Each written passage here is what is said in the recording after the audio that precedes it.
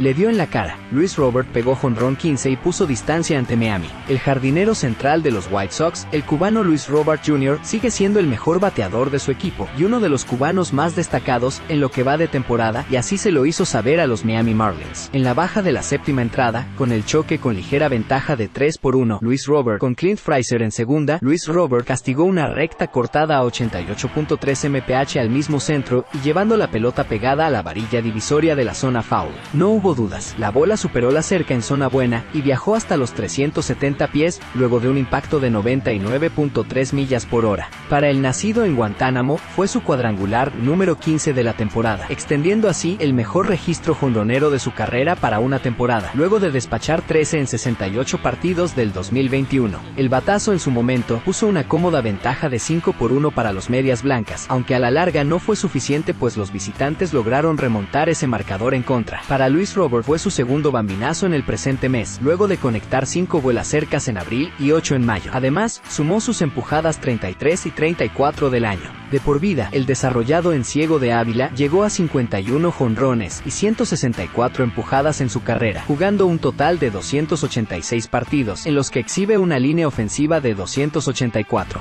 El futuro de Luis Robert en la MLB brilla con un potencial extraordinario. Desde su debut con los Chicago White Sox ha dejado claro que posee talento excepcional. Su velocidad impresionante y su habilidad defensiva en el jardín central lo han convertido en uno de los jardineros jóvenes más destacados de la liga. Además, su poderoso swing y su capacidad para conectar batazos de largo alcance lo convierten en una amenaza constante en la caja de bateo. Con su ética de trabajo y su mentalidad competitiva, se espera que Robert continúe desarrollándose y estableciéndose como una figura prominente en el béisbol, dejando una huella duradera en el juego.